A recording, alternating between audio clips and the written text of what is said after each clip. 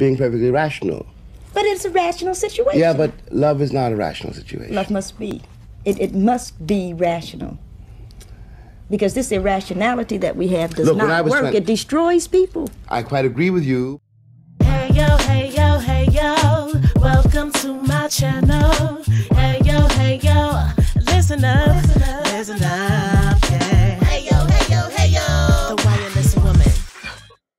All right, hey yo, hey yo, hey yo, welcome back, Wi Fi's, and thank you for tuning in to the second part, the conclusion of the ongoing conversation between myself and poet and spoken word artist Elliot Axiom. Go ahead and do me a favor on your way in and like this video. You already know the drill. If you have not already, you can also subscribe to this channel and click the bell for notifications. We're going to head back into a class that is already in session.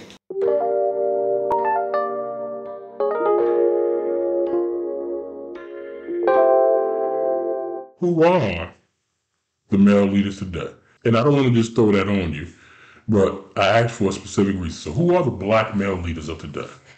I mean, I think if you are looking at it, it's who they always have been, which is our celebrities.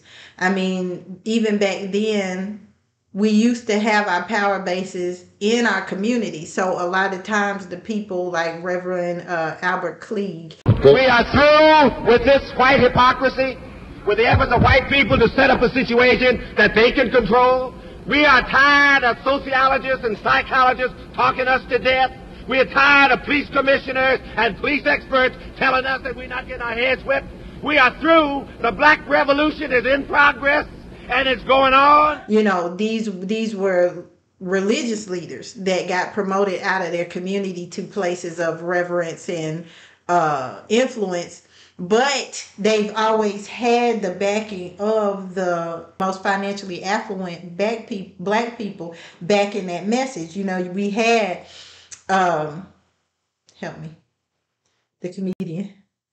Dick Gregory. Right. Thank you. We had Dick Gregory. Only a fool today would sit back and blame Hitler's army and not blame Hitler. That's why the whole world is looking at us very critical now. We had Bill Cosby. And there's a heavy handed, all white treatment that just isn't fair, you see. You know, we had Muhammad Ali.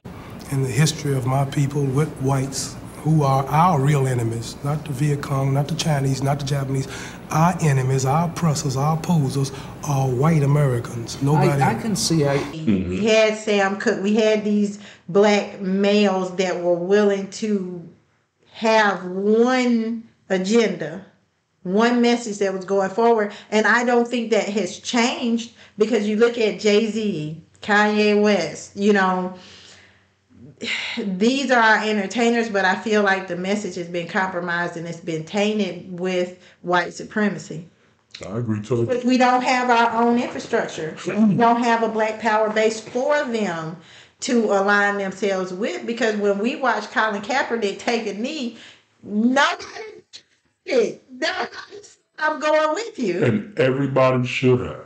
Everybody should. Because if you want to make a comparison, I'm not comparing talents, but if you want to make a comparison to the gesture, you can look at Muhammad Ali refusing to go to the Vietnam War. Absolutely.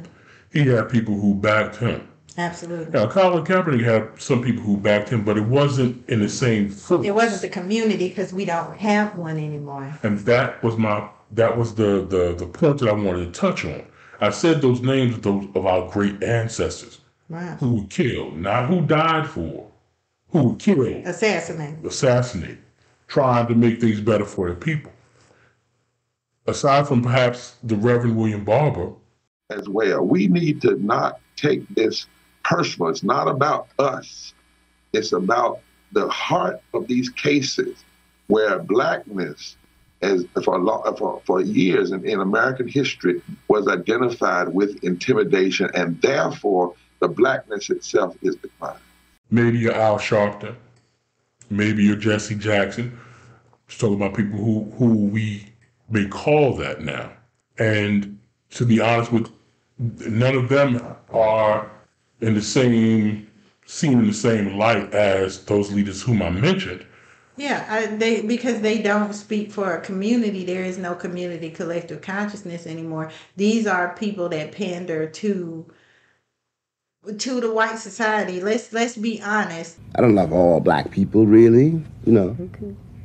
You know, I know some deacons and um, and preachers and congressmen and and judges and teachers and lawyers. You know, black, but not like me. You know. Any one of our black male leaders that we have right now can be compromised. Like you said, fund them, fund them, and you'll quiet them. And and that is why I said all that to say that we need black male leaders from within the community. You don't have to be a preacher, right. don't have to be a celebrity, don't have to be a billionaire, millionaire, or even a thousandaire. I bought 40 acres of land to be able to teach the boys how to, you know, fend for themselves and, you know, uh, live off the land and grow their own food and things like that. What you need is the backing of the community because you have shown within the community that you are worthy to be a leader. And I'll take it one step further and say you don't even have to be the leader that black people want or that we would pick because you take a man like Malcolm X who was a felon, mm-hmm. who was in that same system of white supremacy, mm-hmm. Who capitalized at a certain point, pimped and pushed in his own community, mm-hmm. you know, but still came to leadership in its defense through being the leader that we needed at the time because we have everything they didn't have resources. We have media to be able to organize and align ourselves around. So now my question to you is why don't we you know we are able we are at that egyptian place where we can be at the top of civilization. We're putting three trillion dollars into the economy. We we spend more than we make. So we're the only group of people that's willing to fund this economy to our destruction detriment and ruin to to put our children in generational chains and behind in the generational wealth matrix all for the sake of pushing this system forward. So why don't we use everything that we're already using to promote another community to now come back in and enrich our own? We have England Street, Greenwood, Durham, North Carolina, where they cook Rosewood. Rosewood, Wilmington, North Carolina, the only successful coup in America, where the white township killed, destroyed, and drove out the black city council and the black people there, and then took over the city. So we have. And the society around has attacked it. Mm-hmm. Can we and should we be doing it again?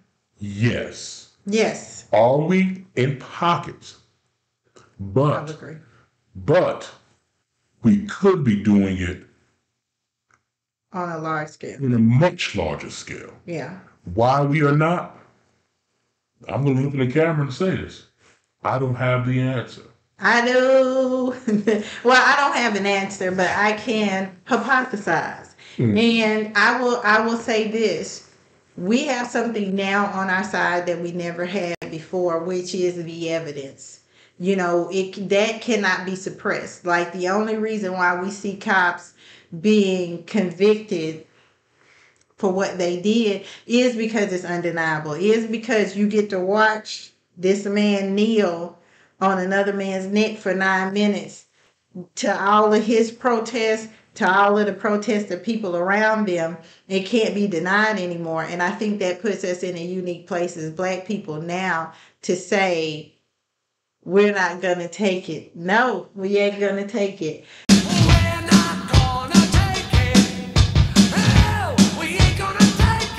And I think that if I'm hypothesizing, we are in a patriarchy. And I think this is the place where we can begin to delve into that divide between black men and black women because we're pointing fingers at each other, feeling like we are being oppressive to each other. But I see it as we are in a white male patriarchy.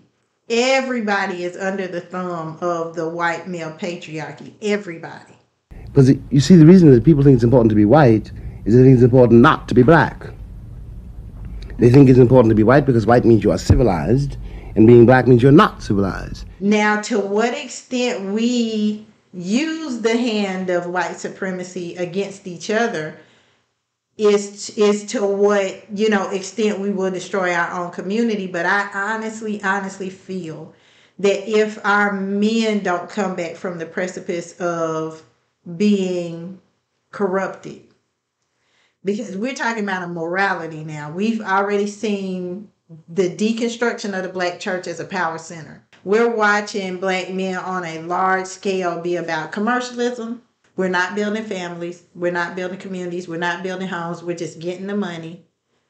And we're going to be in front of our community showing off that we got money, but not actually coming back to any power base. Now, when you say we, you're talking about black male celebrities right now. I'm talking about this this divide is from the top to the bottom. Like I said, when we saw black men out in front of their community saying, say it loud, I'm black and I'm proud, what's going on, what's happening. Oh,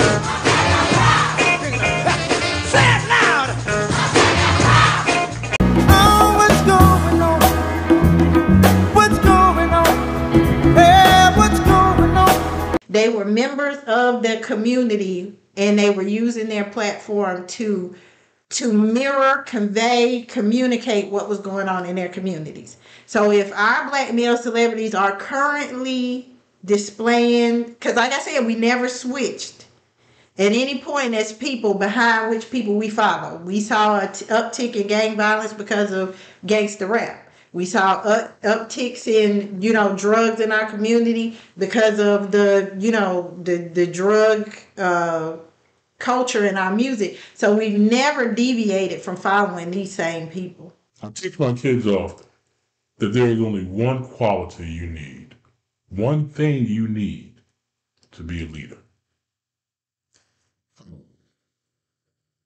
And so, when we look at leaders, we just mentioned, you know, some of our great ancestors, and then you just mentioned a lot of black male celebrities. There is a difference there. And I think that's what the lack is. The difference is the intention. Mm-hmm.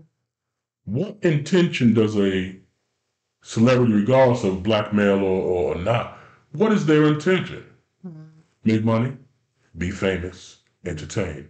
There is nothing in there that says or teaches them how to be a good leader. Mm-hmm. But we put all of our backing behind them because they are the only leader. If it's the only game in town, There's another way. I would, I would put it. I would, s- I would suggest that since his game is running, he hasn't got to know you because his game is running. No, you're part of the game he's running. He hasn't got to know you. I would think that one of the reasons that, that uh, the Americans are in such trouble now is because the game is running. It was the only grocery store, you gotta and you, you gotta buy your bread somewhere, right? Right. So, so when we talk about these leaders that will need to be transformative, we need really those leaders who were transformative, and look for something that's comparable here or become that comparable. And so I, you know, issue that to my brothers. We have to become those leaders. and they can just take all of them they want to. We're always going to have someone to fulfill that position because that's the type of organization the, Black Panther Party is. We don't produce buffoons, we produce leaders. But everybody in the Black Panther Party on any type of cadre, he's becoming a leader. We have to be comparable to the leaders whom others wanted to follow. Now, let's also, you know, not romanticize and glorify history. Not everybody was really down with Malcolm X or Martin Oh, absolutely not. you know. So when we also talk about why don't we have these leaders, we have to look at the fact that there are some good leaders who are out there. Absolutely. We may not even know who their names are because they haven't reached that platform. They haven't been allowed in by the gatekeepers, or they've been purposefully kept down. This is true, but it goes back to the economics, it goes back to the education. There are no institutions through which to funnel these people. There is no way to build a platform for them to use their messages for good on a you know, on a larger scale, because like I said, we moved away from all of our institutions. We moved away from black church. We moved away from black marriage. And this is what's happening also today. It looks like a black man can't make it with a black woman. If somebody looks at the two of us, man, we're the weirdest looking people on earth because you went your way and I went my way. Which is Uh, saying the same thing, and that's sort of a shame to But say Nikki, that a, I can't Nikki, have a black man but standing with me, and you can't have a black woman because we wouldn't be who we are if we had. But and Nick- that's a fact. But Nikki, We moved away from black entrepreneurship. You know, I, I saw this message where they were saying that, you know, um, we need to start building up black businesses. Well, we have. We had we built up BET and they sold it. you know, we put all these money in the Jordans, but all that money funnels in the white hands. You know, we built up Carol's daughter and they sold it because it's capitalism. We were never in this to build generational wealth that we could pass down to our children. We were in this to make money and get out. Here's my question. Here's my take on it because when we speak to what needs to happen, on the flip side of that, though, you have women like Ketanji Brown Jackson. We have these women like Stacey Abrams. You know, we have Alma Adams. We have all of these women who are doing what they can to move this needle forward for the community. And it seems to me that it's driving a deeper wedge between black men and black women. I have seen how the community, and even today in 1971, even today there are divisions based on those same Yes, kind of problems. That's right. So that the black men say, in order for me to be a man, you walk 10 paces behind me. You know what I mean? Yeah, but- It means nothing. I can walk 10 paces behind a dog. It means nothing to me. But if that's what he needs, I'll never get far enough behind him for him to be a man. You know what I mean? Look. I'll never walk that slowly. look, Nikki, And I don't understand how things that move the community forward or should, because we're talking about women that are actually giving back to the community. You you have these black women now who are out trying to lead the community, you know, and I'm ambivalent about it because I feel like it's deeper in the white places. But I also don't believe they have what they need to build institutions and build infrastructure if our black men are going to be divergent from that vision, that goal. Cory Booker. And really, she's phenomenal sister doing phenomenal things. The wedge is being driven in the black community is a macrocosm of the microcosm of, as you say, the deconstruction of the black family. The people enough, you'll see that that same syndrome, you know, the little guys that are mm-hmm. standing around crossing their arms and mm-hmm. Mm-hmm. they're not lovable. They're not giving any love. They could give a damn about me. You know what I mean? And and that's that's unfortunate because I need love. Yes, but sweetheart, But it's on a level that's that's a lot more complicated and a lot deeper. Do you think it's changed from the original conversation that they were having in 1971? Because even then, you had women that were saying to black men, just come home.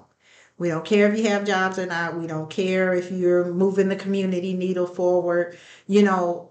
But there was a lot of abandonment that happened in in that time as a re- as a result of joblessness. You know, these same economic factors that could we could find ourselves coming right back around to again. So what has changed?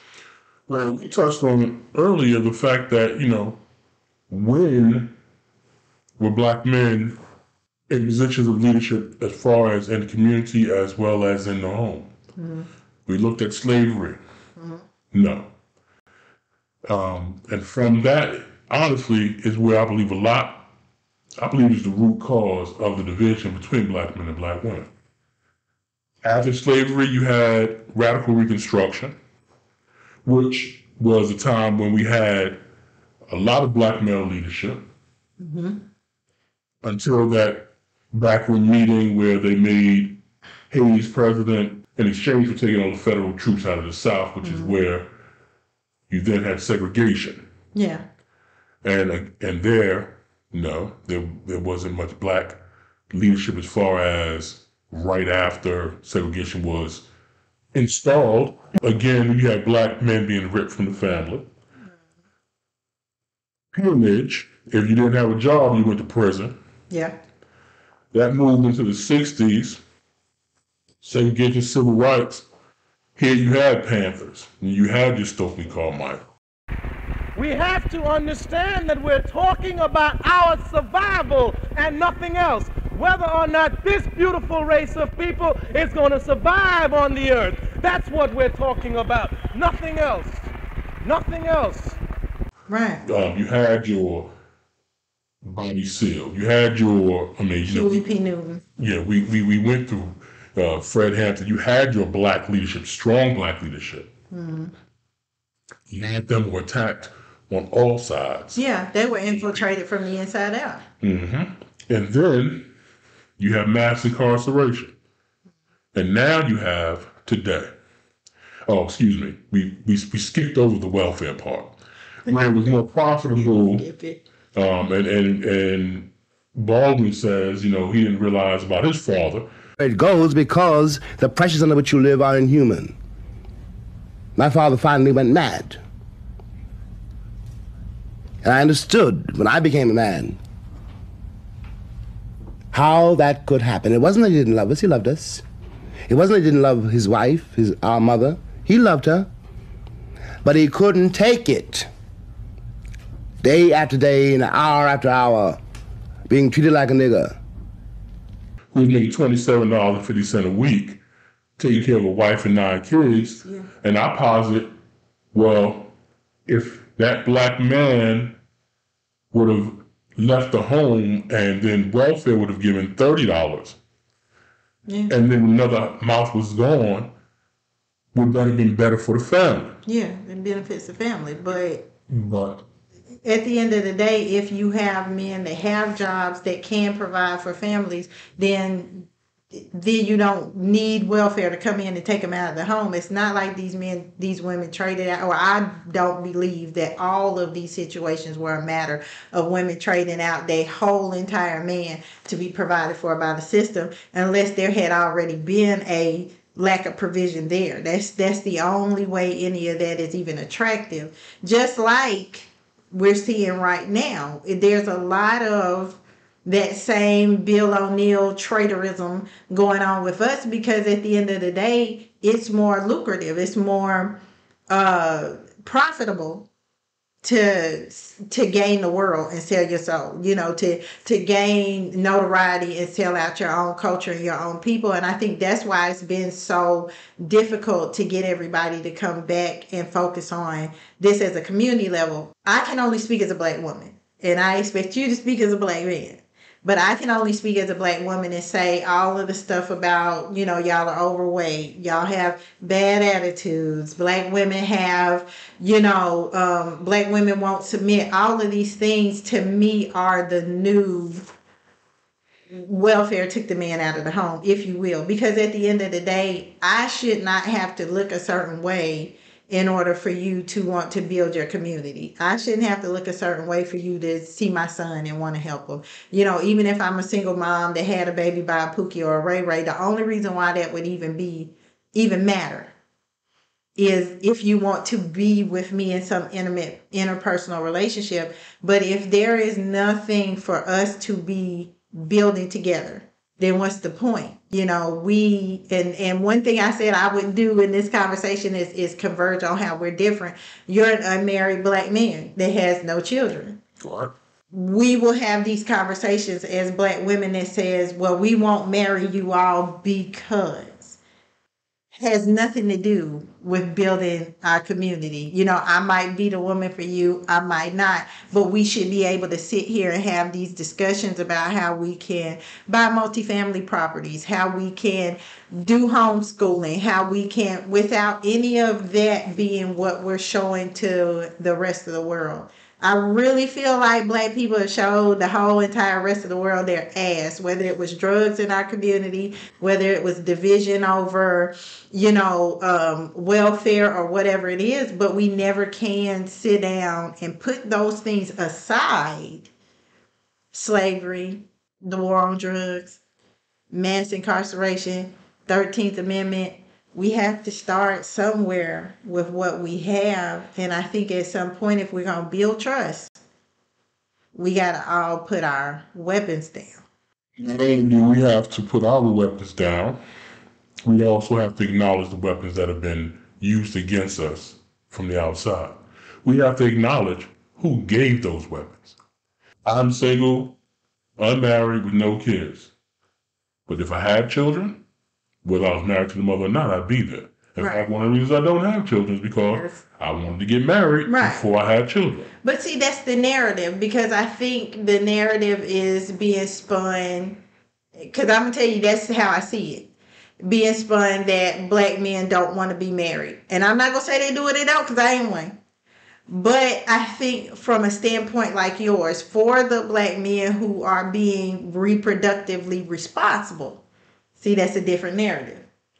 Just like for the women who, if you're 30 or 40 as a woman and you don't have children, it's like, well, what's wrong with you? You're a spinster. Instead of you're reproductively responsible. I'm not married. I didn't want to have children that I would not be there for in the household. You know, economically, I wasn't in a place, whatever your decisions were. But when we look at the marriage rate being lower than the being lower than the divorce rate, you know, we have to begin now to change these narratives. Well, now it's like you want to trade that at a premium. Do you get my point? But you are different than a lot of men that I meet that have that as their credo, as their badge, because you're in the lives of children. You're in the lives of women. But a lot of men use that comment to say, for that reason, you peons get away from me. You know, and I think that's the place where the narratives are being turned around that kind of no matter how we're coming at each other to relate as black men and black women, we're coming with some sort of negative connotation on everything that we bring. Again, for me, that's by design. Right. the media, society, all that, what the representation looks like, you're hard pressed to find a commercial or a TV show that exemplifies or shows black love. Okay? Black man, black woman.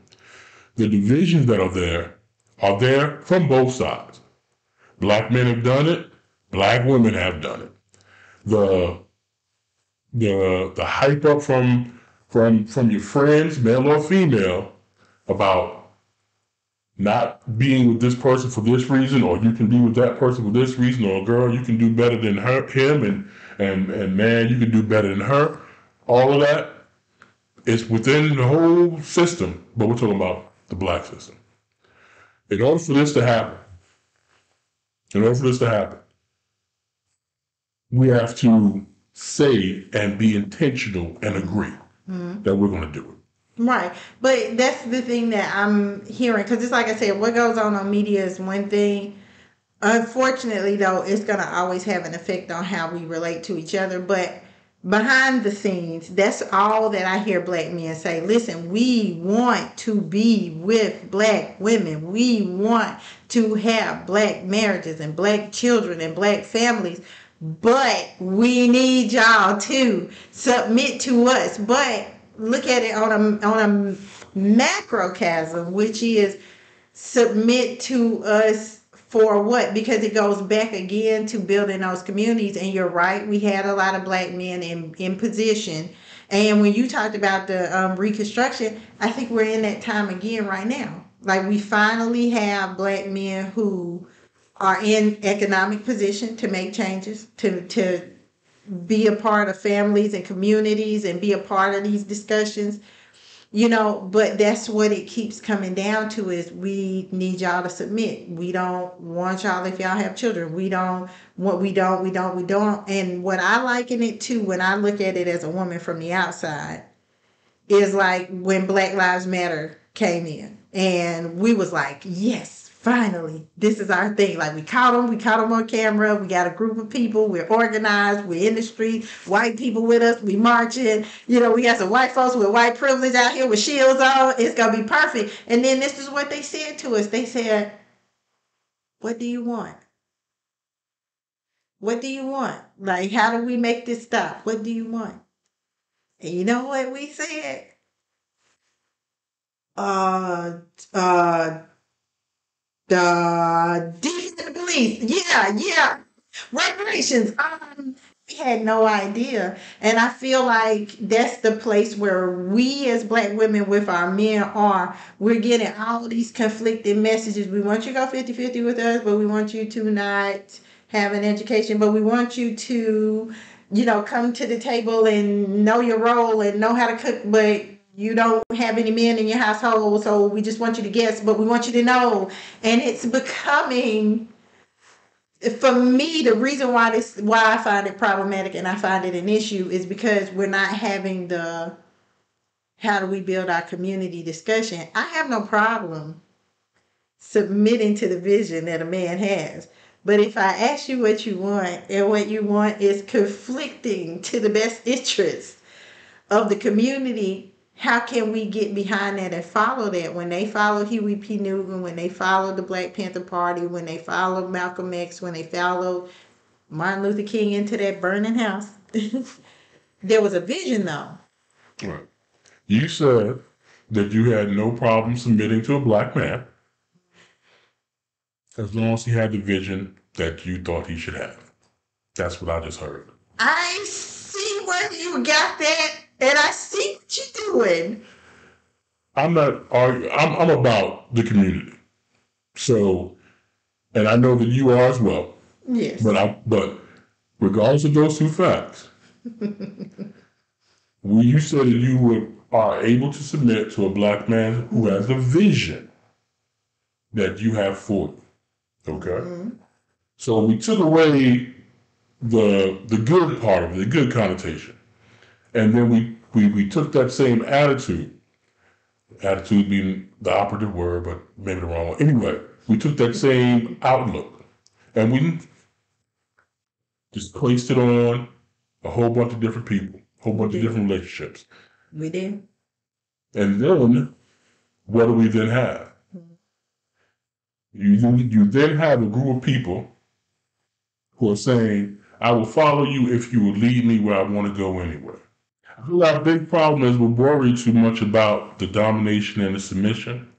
I agree. We worry too much about the leaders and the followers. I agree. The Black Panther Party, majority women. You had great male, black male leaders. You had great black female leaders. Mm-hmm. For me, that's one of the the paramount examples. Then you you you you have to take what we have right here, right now, Right. And you have to say, "I forgive you. I trust you. I believe in you." I forgive you. And then, from that point, you have to move forward.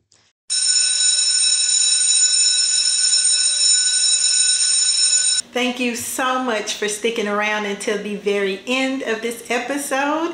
And thank you for joining me and Elliot on this journey that we decided to take with each other. It brought up a lot of emotions and we were very vulnerable and open with each other. And I hope that more black men and black women will begin to sit down and have these discussions with each other because this is really what we need in order to rebuild our community we need reciprocity and resolution and to listen and to answer. We need accountability and for each of us to take responsibility, not just for ourselves and our own actions, but for each other to understand that we're interdependent and interrelated, that one of us cannot be greater or more successful than the other without the other. I'm hoping that this discussion will begin to spur other discussions across the genders, across the aisles.